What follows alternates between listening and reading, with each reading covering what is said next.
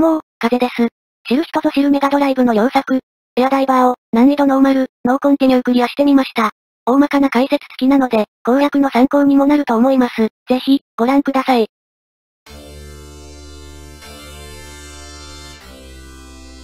プロローグを要約すると、一人の狂信的科学者をリーダーとする、巨大なテロリスト組織が完成させた、8機の空中空母に、世界はわずか数時間で制圧され、今や、最新鋭の航空技術を結集した戦闘機 F119、ステルスが、最後の、希望。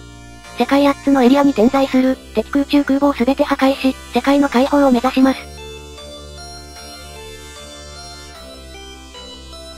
硬派な、疑似、3D シューティングなのですが、逆にそれが災いして、ろくに世に出ることもないまま、ひたすら埋もれてしまった印象があります。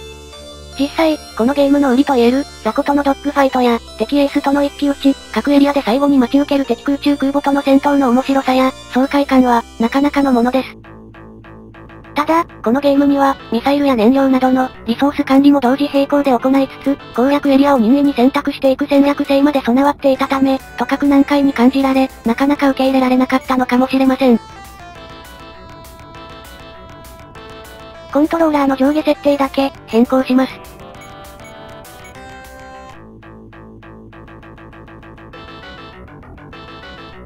難易度ノーマルプレイ、ハージもあるよ最新鋭戦闘機 F119 ステルスは、この空中輸送空母に搭載され、世界各地へ運ばれます。攻略するエリアは自由に選択できますが、エリアごとに任務達成率、つまり難易度が大きく異なるので注意。最初に攻略するのは、近場で、任務達成率も高い、オーストラリア。コックピットはかなりごちゃごちゃしてますが、重要なところだけ、さらっと説明します。ここに、被弾した箇所が点滅し、3箇所被弾で、墜落します。敵ミサイル被弾は、一撃死です。ミサイル残弾数、78発まで装備できます。燃料系、なくなったら、ワンミス。武装は、バルカン砲と、ミサイルのみです。ここを見て、敵機の位置を確認します。基本、敵に背後を取られないように。操作は、上昇、下降、右旋回、左旋回、アフターバーナーが基本ですが、緊急時には、左右の切りもみや、上昇大回転で対応します。敵機をロックオンしてから発射するミサイルは、とても便利ですが、リソースに限りがあるので、あまり無駄遣いすると、後半の難易度爆上がりで、苦労するかもしれません。敵機追跡や、上昇大回転、切りもみ飛行の際に使用するアフターバーナーは、燃料消費が大きいので注意。各部の損傷による影響ですが、バルカン砲が被弾すると、片方しか撃てなくなります。攻撃力半減です。エンジンに被弾すると、上昇大回転ができなくなるので、敵エースとの一騎打ちで、積みます。主翼に被弾すると、燃料消費が激しくなります。バカスカ減るので、ほぼ、積みです。機体損傷を抑えつつ、ミサイルと燃料を温存する、腕と工夫が、求められます。最初は、難しく感じますが、大丈夫、やれます。雑魚を片付けたら、敵エースとの一騎打ち。これが、切りもみ飛行。左右の緊急回避。これが上昇大回転。徹底して背後を狙ってくる、敵エースとの一騎打ちでは、かなり使います。一騎打ちは、敵エースの背後にうまく張り付いて、瞬殺できる時もあれば、異常に手こずる時もあります。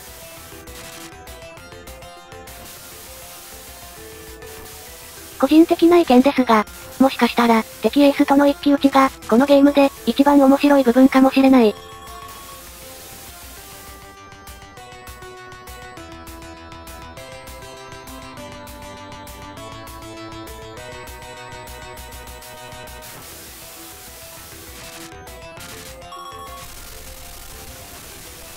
敵エース、撃破。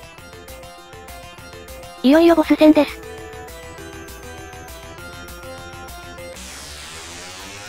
ボス戦は、通常戦闘とは、操作感覚が異なる上、切りもみ飛行や、上昇大回転が、できません。ミサイルもロックオンしないので、弱点を見極め、よく狙って撃たないと、ミサイルが無駄になります。ちなみにこのボスは、汎用重爆撃機、ワイバーン。全長、315メートル。全幅、193メートル。総重量、1万5210トンで、115人乗り組んでいるそうです。ここに来て、バルカン砲が被弾、片方しか撃てなくなりました。汎用重爆撃機、ワイバーン、撃破。敵空中空母は、それぞれの弱点5箇所を破壊すれば、落ちます。空中輸送空母に着艦します。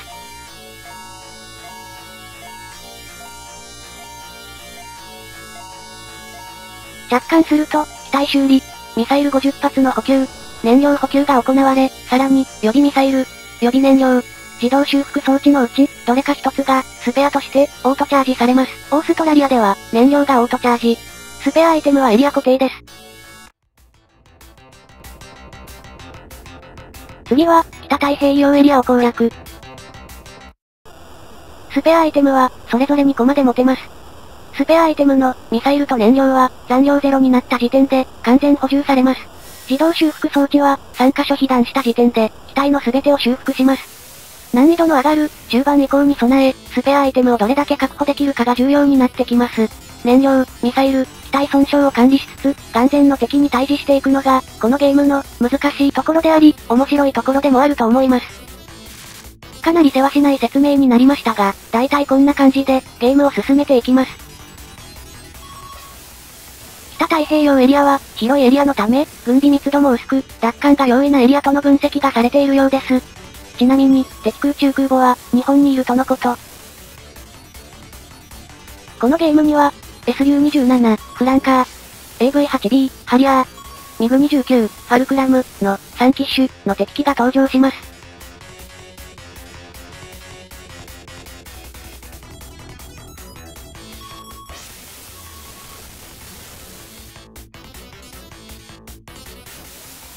このように、アフターバーナーを使い、敵機に追いついて攻撃することもあります。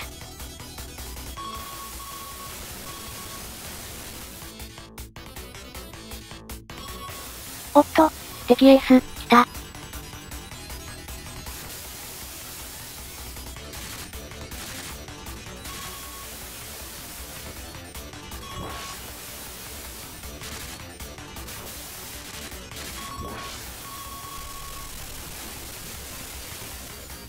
回は、比較的楽に倒せました。ラッキー。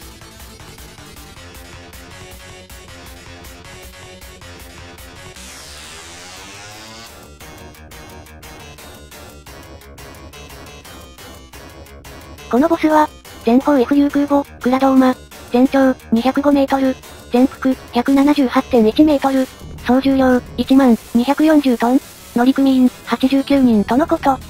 前のエリアも今回も、一番最初に破壊したけど、敵空中空母中央にある四方から発射される弾は、ミサイルと同じく、被弾すれば一撃死なので注意。前方 FU 空母、クラドーマ、撃破。このエリアは、ミサイルを使いまくったので、楽に攻略できました。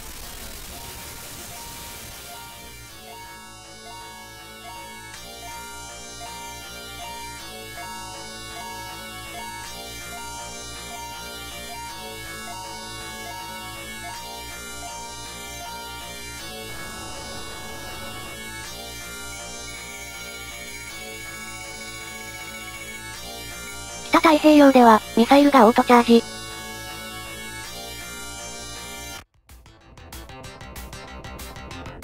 次はアジアへ、ぐんと、難易度が上がります。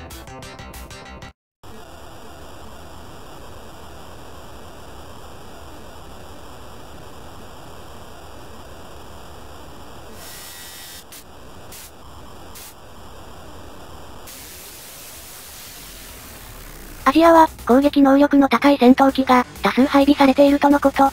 実際ここら辺から、難易度が一気に上がる感じはしますね。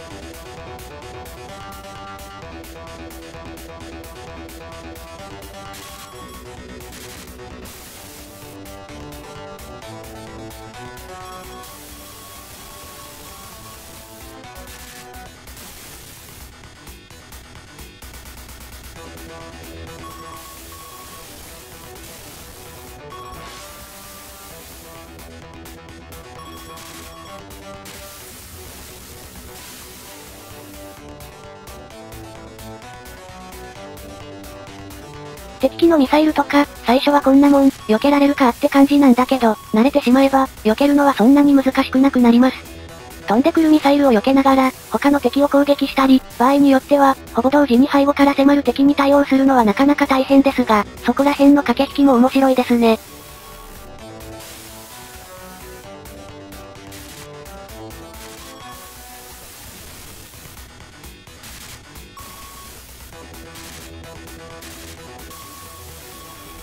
We'll be right back.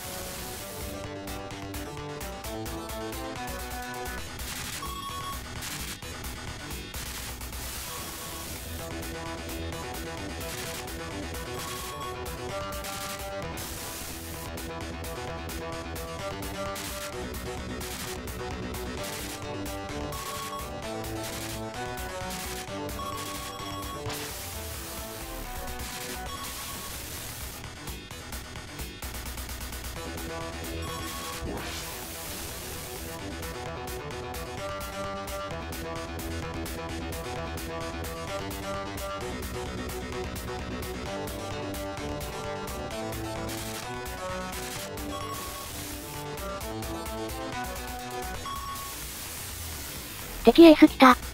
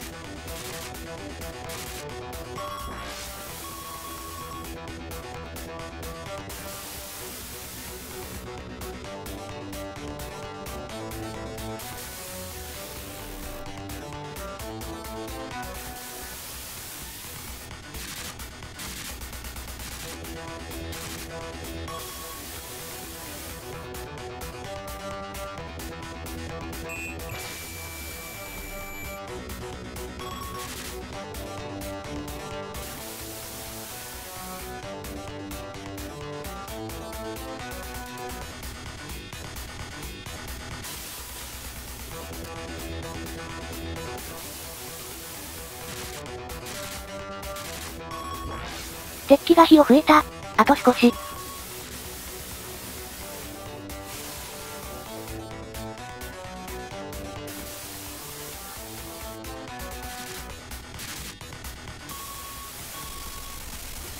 残念量が微妙。早めにボス片付けないと。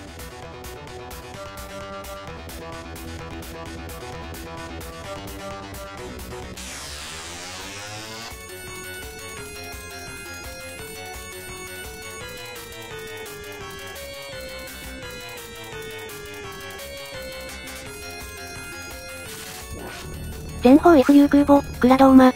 二度目の登場です。このゲームは、全8面ですが、敵空中空母は、4種類なので、それぞれ、2回ずつ登場することになります。一応機体の色は異なりますが、ここはもうちょっと頑張って欲しかったですね。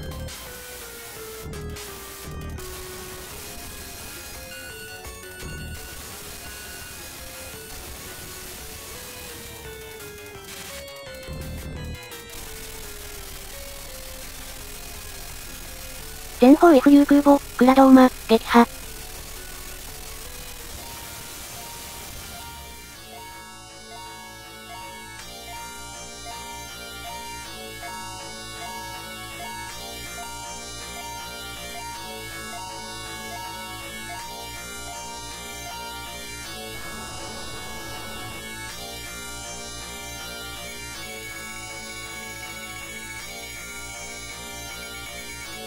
ジアではリペアがオートチャージされ、スペア1が揃いました。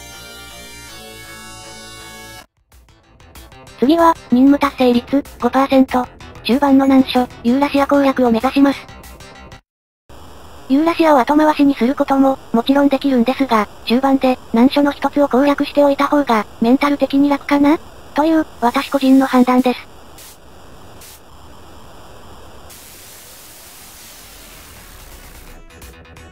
ユーラシアは、ソ連製、最新鋭戦闘機を主力とした、強力な軍備力を誇るそうです。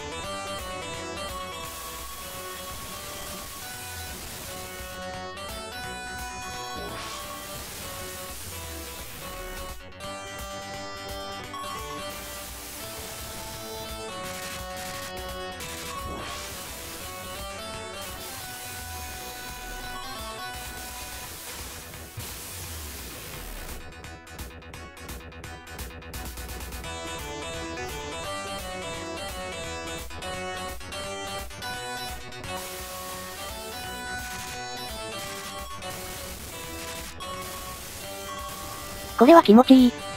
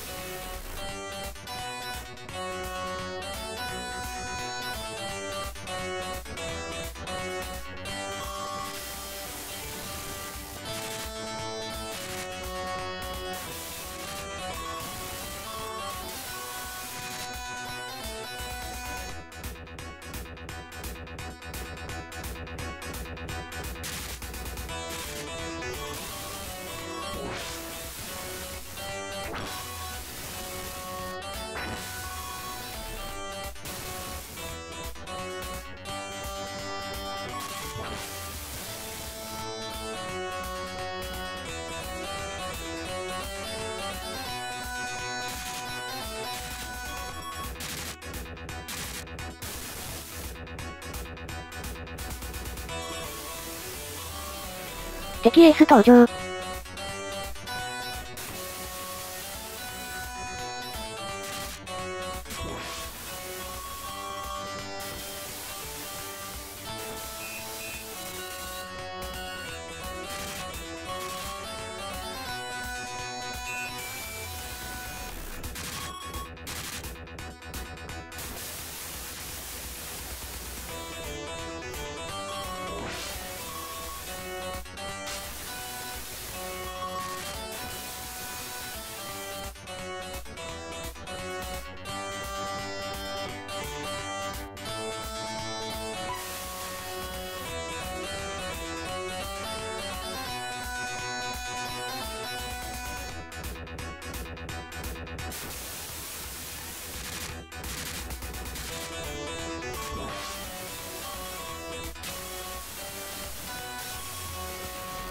今まで追っかけてたはずの敵エース機が、一瞬にして、こちらを向いてることが、よくあるので、ミサイルぶっ込まれないように、気をつけないとね。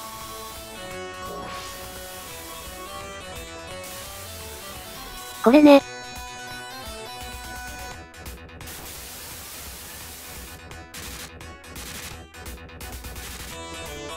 あと少し。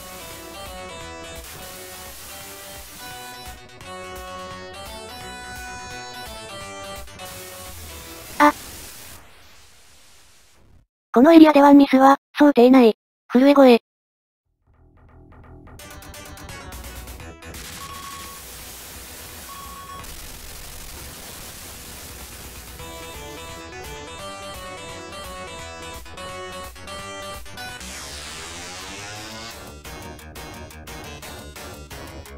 このボスは、高機動空中要塞、メタリオン。全長、182メートル。全幅、169メートル。総重量、1万、2040トン。乗組員、94人。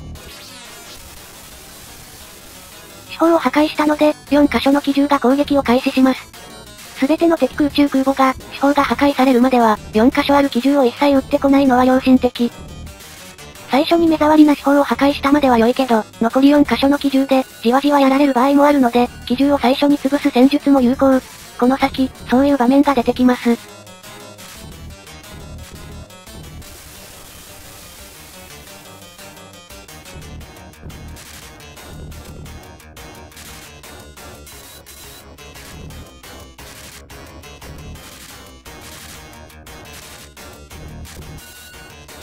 やば。主翼に被弾して、燃料ダダ漏れ。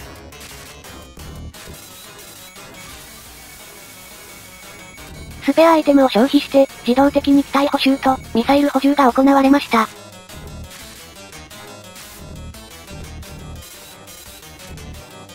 ボス戦終わって五感に帰還したら、ミサイル50発補充されるので、バンバン使おう。ここでミサイル温存しても、無駄になるだけ。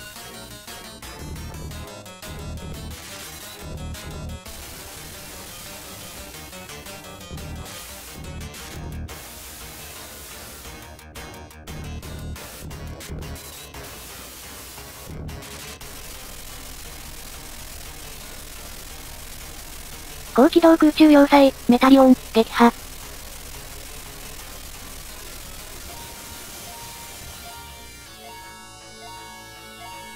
かなり手こずったけど、難所の一つを攻略完了。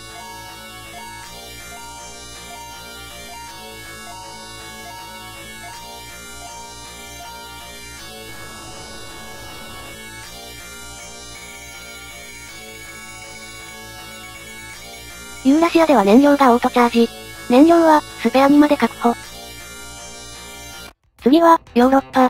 さっきのエリアと、任務達成率では大差ないけど、実際はそれほど難しく感じないのはなぜだろう。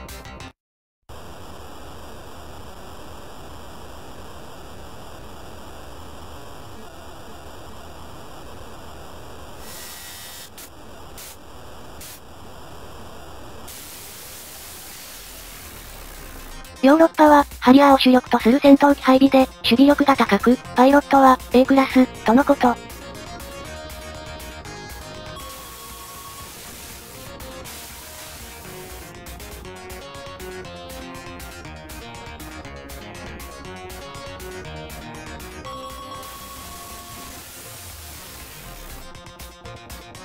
編隊の構成はいつも変わらないけど、各機が飛んでる座標は毎回割と異なるので、雑魚戦も割と飽きずに楽しめますね。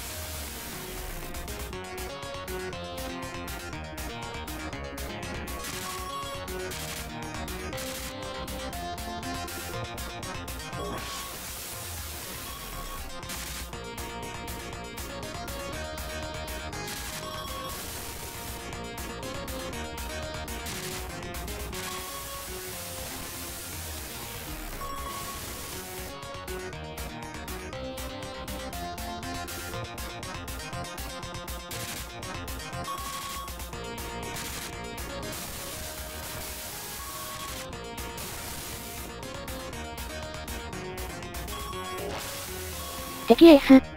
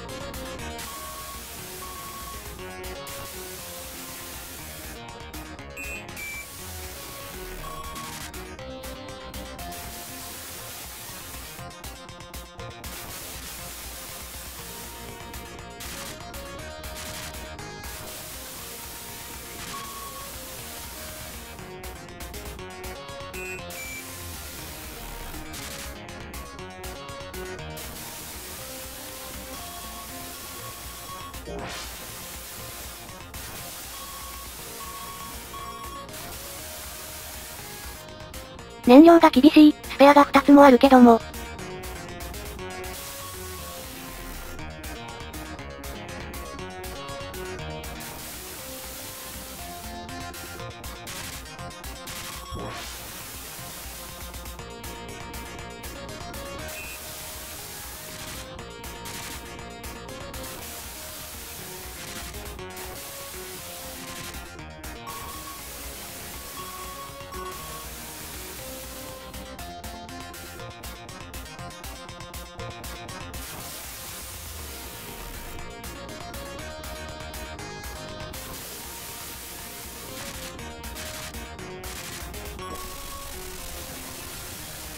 ようやく敵エース撃破。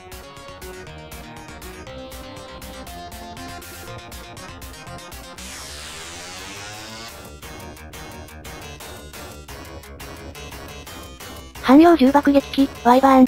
二度目の登場になる、最弱のボス。こいつが相手なら、燃料持つかも。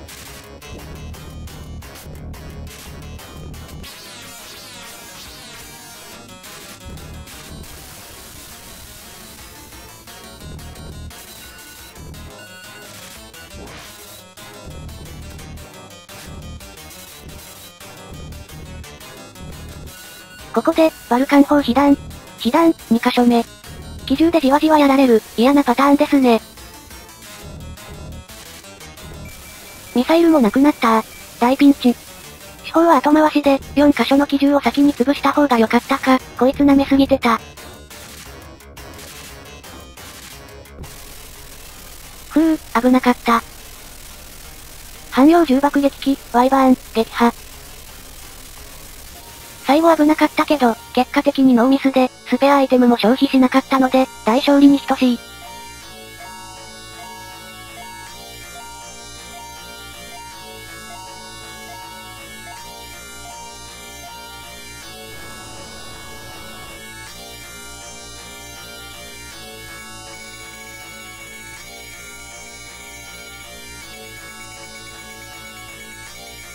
ヨーロッパでは、リペアがオートチャージ、つのエリアのうち、5つを解放。中盤の難所を超えたので、少しだけ楽になります。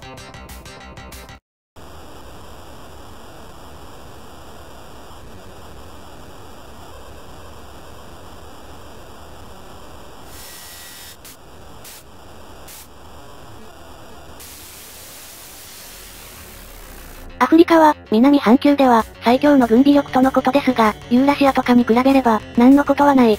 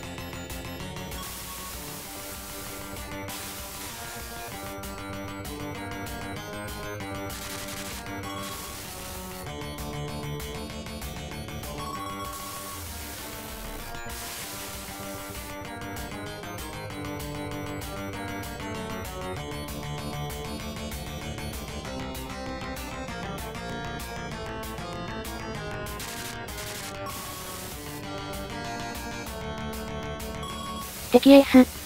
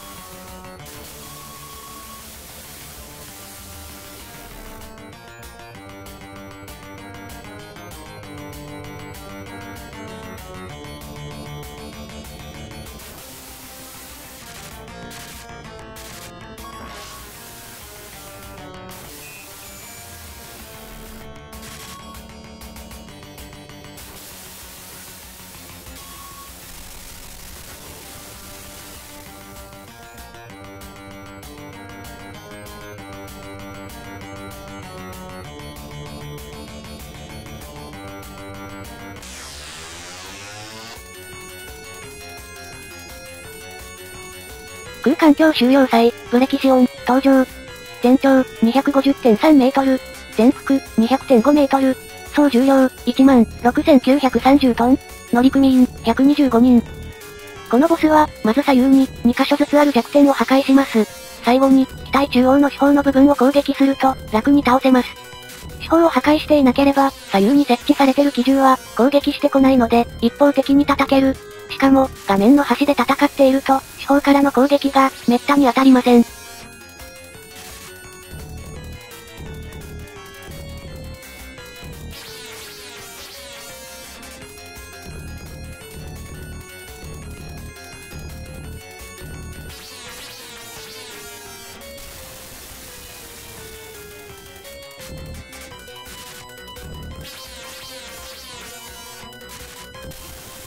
左右4箇所を破壊したら、中央にある四方を攻撃。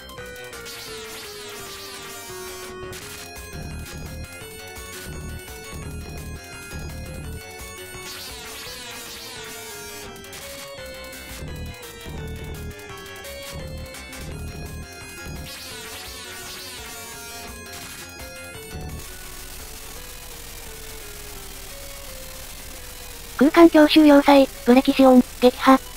ボス戦で、ミサイル温存できたのは大きい。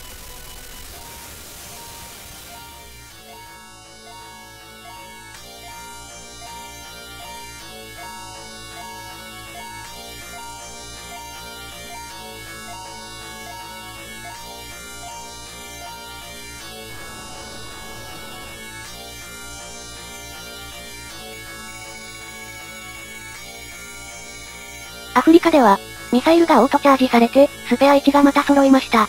順調。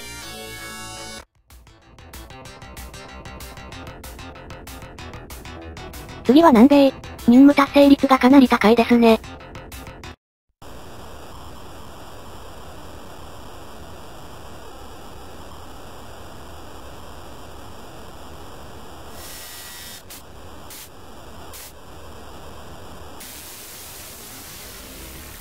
南米は、騎士とパイロットが、共に B ランクということだけど、あんまり舐めてたら、痛い目見るかな。もう終盤、気を引き締めよう。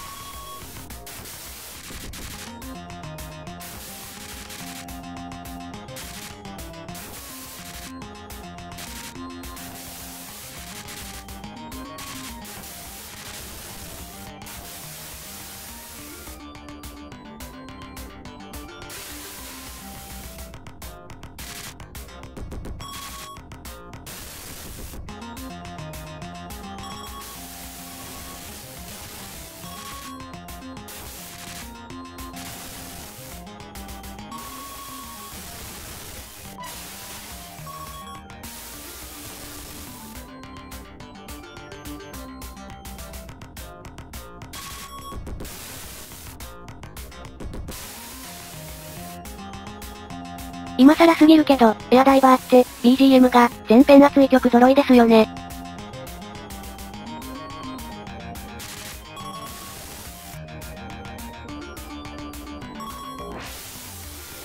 敵エースが出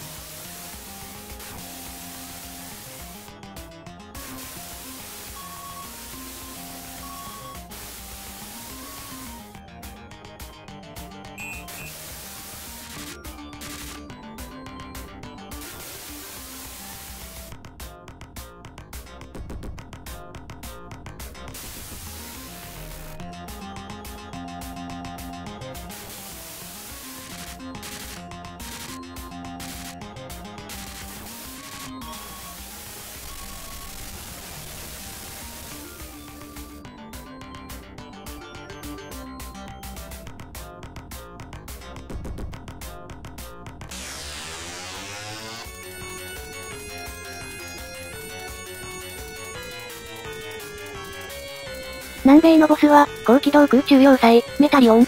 二度目の登場です。もう終盤なので、ミサイル節約のために、先ほどのボスと同じ戦術で戦います。まず左右4箇所を破壊して、最後に中央の秘宝を破壊する、あれです。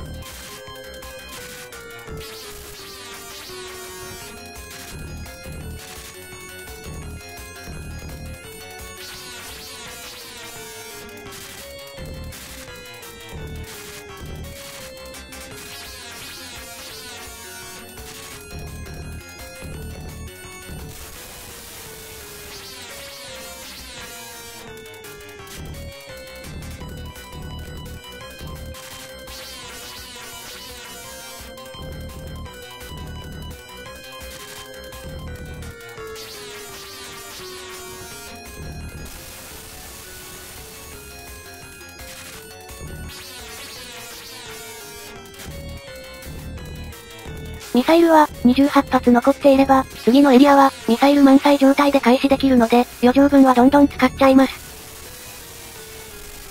高機動空中要塞、メタリオン、撃破。ミサイル、49発も残ったか。もっと使えばよかった。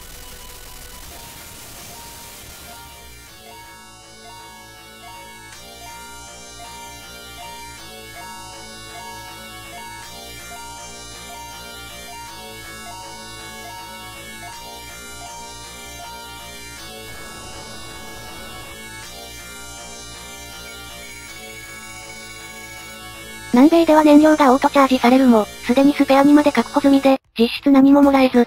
いよいよラストの北米。敵は、かなりの数の最新鋭機が配備されている上、パイロットは、超 A 級クラス揃い。ひよってる奴いる？いねえよな震え声。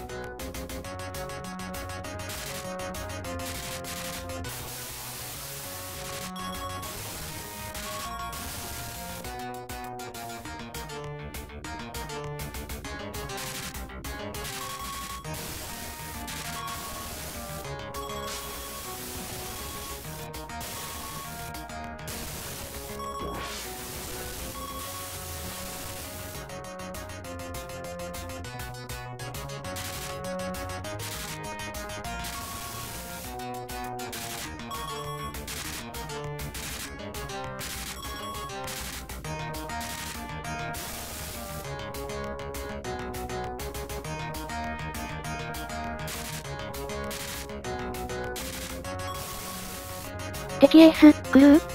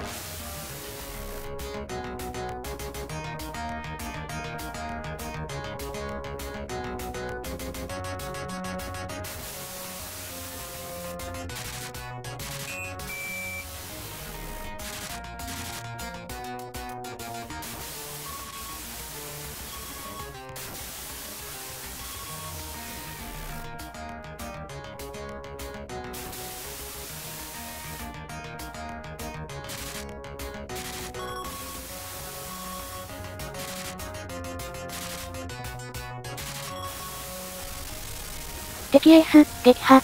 だいぶ手こずった。敵エースだけは、瞬殺できる時もあれば、今のように手こずることも多くて、安定しないな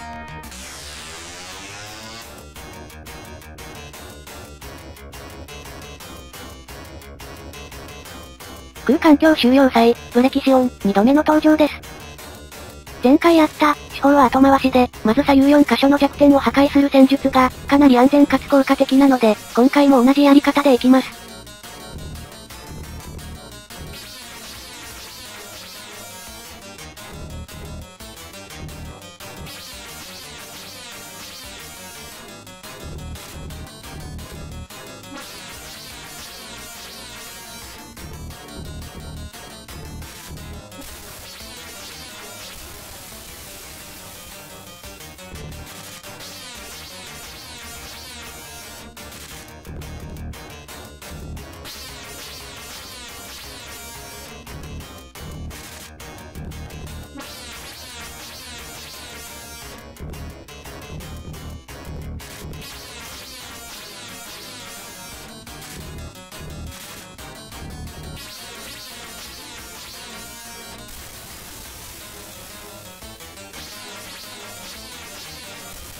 残るは、中央にある手法のみ。ミサイルがだいぶ残ってるので、どんどん使います。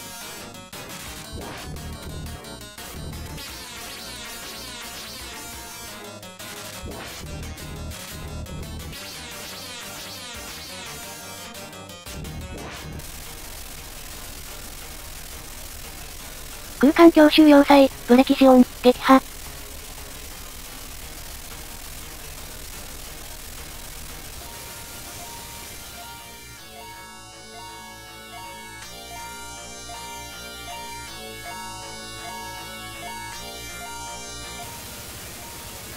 現れた何者かの攻撃により、撃墜されてしまう我々の空中輸送空母。我々の空中輸送空母を撃墜し、悠然と飛び去ろうとする謎の敵機。それは、F119、ステルス。この機体と同一機種。ラスボスは、ステルス。レーダーディスプレイに、時々しか表示されないので、今までの経験と感が、頼りです。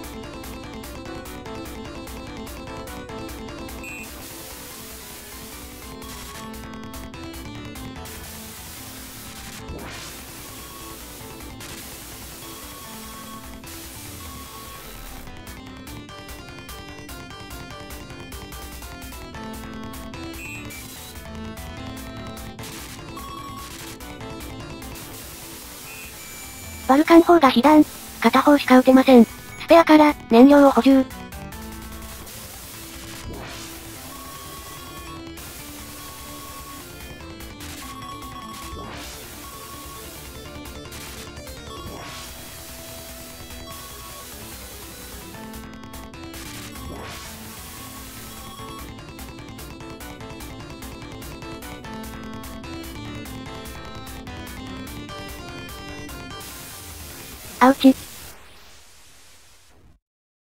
やれる。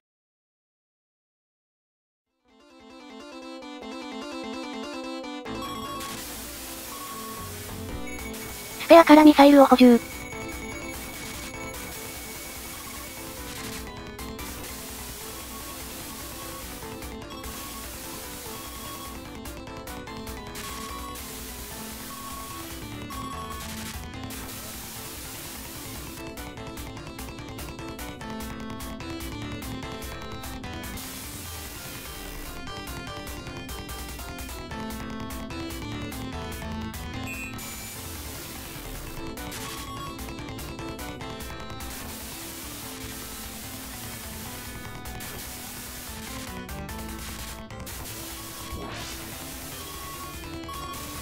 やったー。